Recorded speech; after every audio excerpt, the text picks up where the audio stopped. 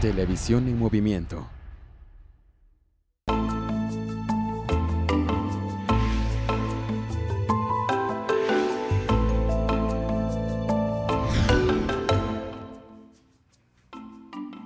tal amigos? Muy buen día. Estamos una vez más aquí en su programa médico de cabecera.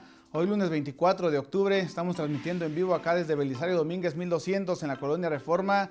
Muchas gracias a los que nos siguen a través del canal 152 de Easy, al igual que en nuestras redes sociales www.mbm Televisión Oaxaca en el Facebook, MBM Televisión Oaxaca. Ahí estamos para cualquiera de ustedes que tenga alguna duda o comentario referente a todos los temas que estamos tocando aquí en este programa. Teléfono en el estudio 205-6300 para que se comuniquen con nosotros. Teléfono celular 951-117-3981 para cualquier duda o comentario que tengan. El tema de hoy va a estar excelente. Tenemos a un gran médico que nos va a hablar de, de este tema tan importante. Así que amigos, estamos comenzando y vamos a la consulta de hoy.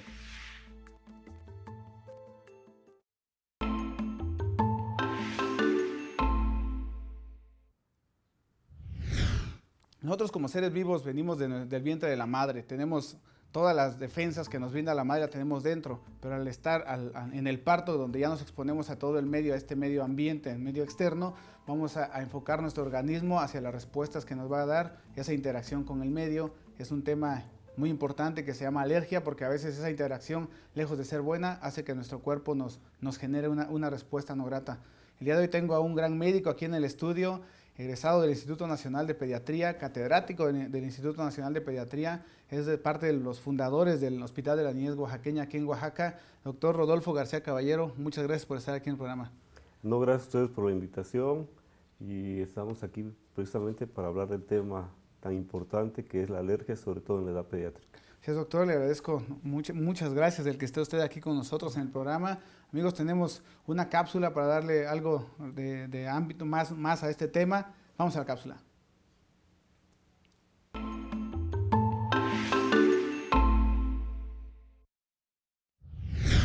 Una alergia es una reacción de un sistema inmunitario hacia algo que no molesta a la mayoría de las demás personas. Quienes tienen alergias suelen ser sensibles a más de una cosa. Las sustancias que suelen causar estas reacciones son polen, ácaros del polvo, esporas de moho, caspa de animales, alimentos, picaduras de insectos, medicinas. Normalmente el sistema inmunitario combate los gérmenes, es el sistema de defensa del cuerpo.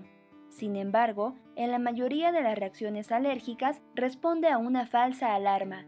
Los genes y el medio ambiente probablemente tienen un rol en las alergias. Las alergias pueden provocar una serie de síntomas como goteos nasales, estornudos, picazón, sarpullidos, endema o hinchazón o asma. Las alergias van de leves a severas. Una reacción severa llamada anafilaxia puede resultar fatal. Los médicos usan pruebas de piel y sangre para diagnosticar las alergias. Los tratamientos incluyen medicinas, inyecciones y evitar las sustancias que las causan. Por ello es importante que ante la presencia de un malestar con referencia a algún tipo de las sustancias antes mencionadas, se debe acudir a un especialista para establecer un tratamiento.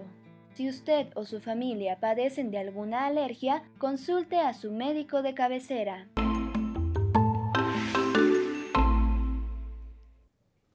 Pues parte de la información referente a este tema tan, tan importante, doctor, que es la alergia. Hablar de, de alergia es esa respuesta de nuestro cuerpo. ¿Cómo se, cómo se presenta o, o por qué se presenta esta respuesta en nuestro cuerpo? Bueno, alergia significa en sus raíces una reacción alterada hacia el medio ambiente, como ya se expresó. Si usted está expuesto al polvo y no está alérgico, no se ve nada, pero si una persona se expone al polvo, va a empezar a presentar síntomas que pueden ser desde los ojos, la nariz, la garganta. Entonces es una reacción exagerada.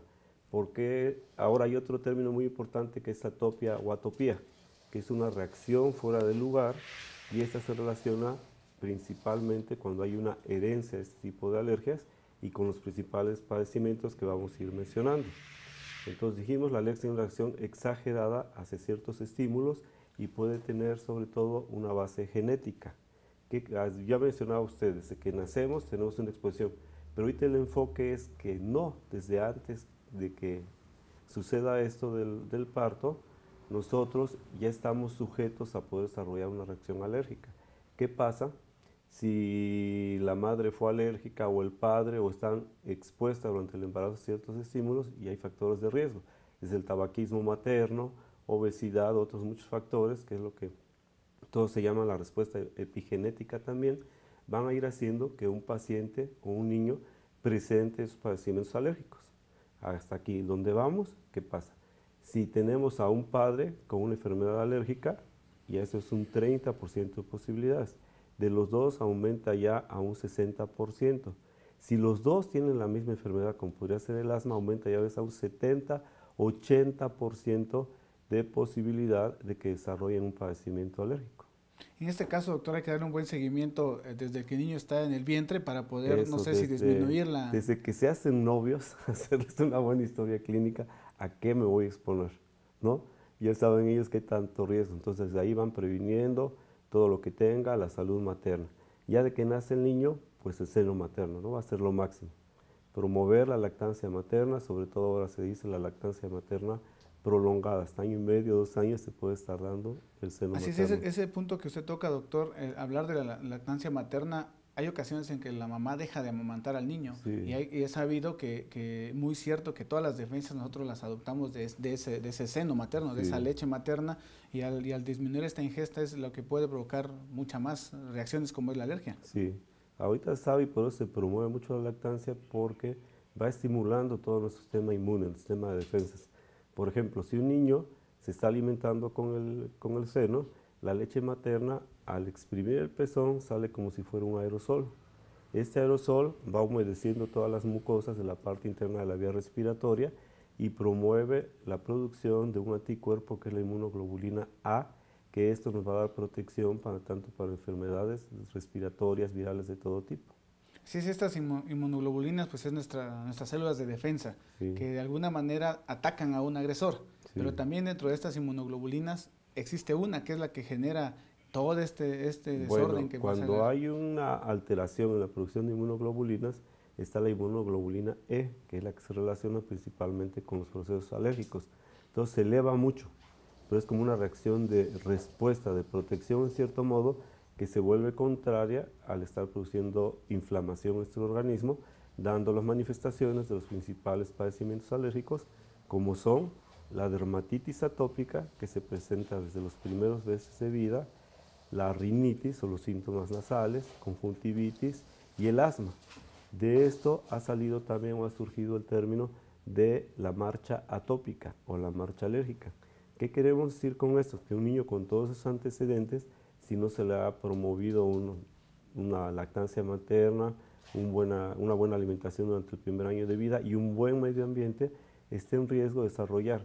Y el orden en que se da, generalmente, aunque no todos los pacientes, es que primero tenga manifestaciones en piel, que es el eczema o dermatitis atópica, posteriormente pueden tener la obstrucción nasal, que es la rinitis, el catarro constante de estos niños, muchas veces no tienen fiebre, y si esto no se trata adecuadamente, desarrollan los síntomas de la reacción bronquial, que es muy importante, y asma. Entonces ya se pueden diagnosticar desde el primer año como si fueran asmáticos, más si existe el antecedente familiar.